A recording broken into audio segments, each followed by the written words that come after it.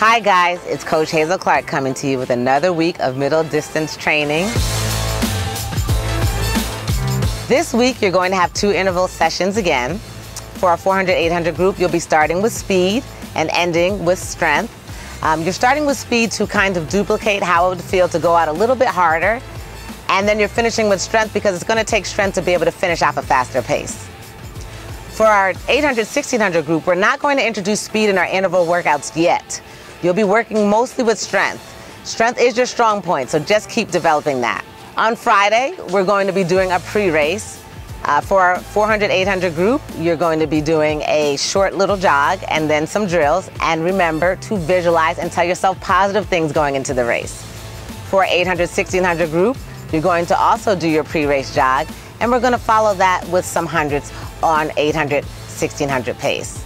For both groups, it's important when you do your hundreds on 800, 1600 pace or whatever race that you're running, that you're visualizing and feeling what it feels like to hit certain times. This will help you to be able to know what your body is doing when you get to the race.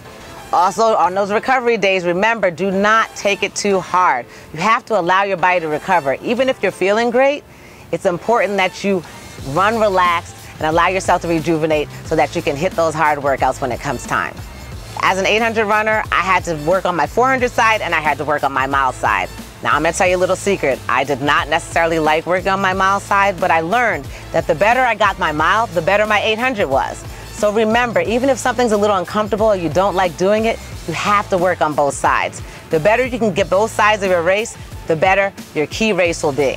Okay?